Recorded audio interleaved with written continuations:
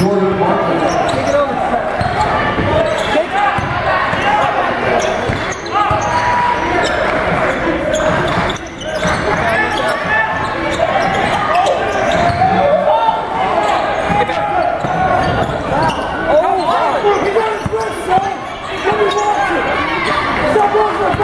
Take